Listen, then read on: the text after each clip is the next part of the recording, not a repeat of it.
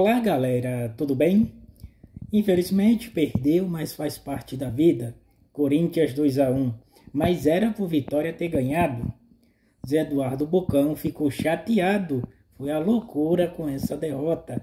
Ele descontou a raiva falando que o time é de Série B, mas é apenas uma derrota. Vitória continua fora da zona, mas era para ter vencido. Veja aí um trechinho do que, do que Zé Eduardo Bocão falou. E agora?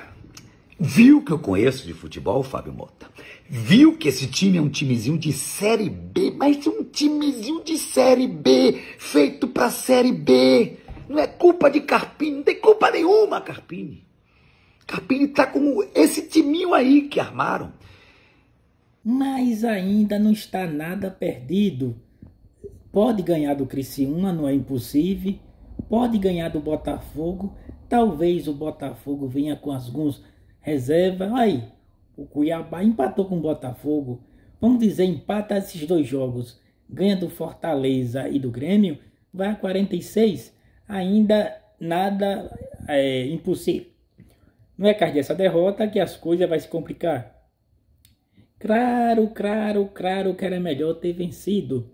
Mas vamos que vamos. Vamos torcer que no próximo jogo Vitória ganha. E o próximo jogo já é quarta-feira diante do Criciúma.